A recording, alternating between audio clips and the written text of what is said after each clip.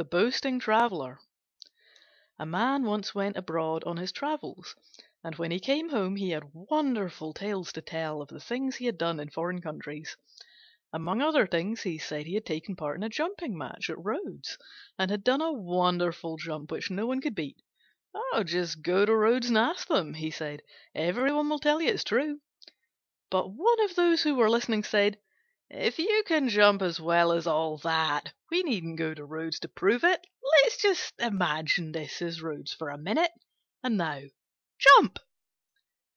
The moral of the story being these are what matters, not words.